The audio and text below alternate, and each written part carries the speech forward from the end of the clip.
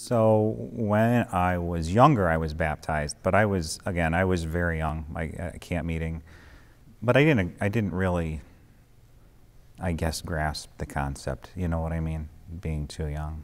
As a result, I pulled away from Christianity for many years, and that resulted in a a feeling of something missing in my life. Um, what I described, I've always described as like a hole in my soul that I tried to fill with, you name it, material things, cars, jobs, career, whatever the next biggest thing was, um, infidelity in my marriage, and nothing could fill that, that void. And so now I want to do it again to just reaffirm my relationship with Him and my commitment to Him, starting over and washing away the old me, that final step of washing away what was, what is dead and gone, and starting new.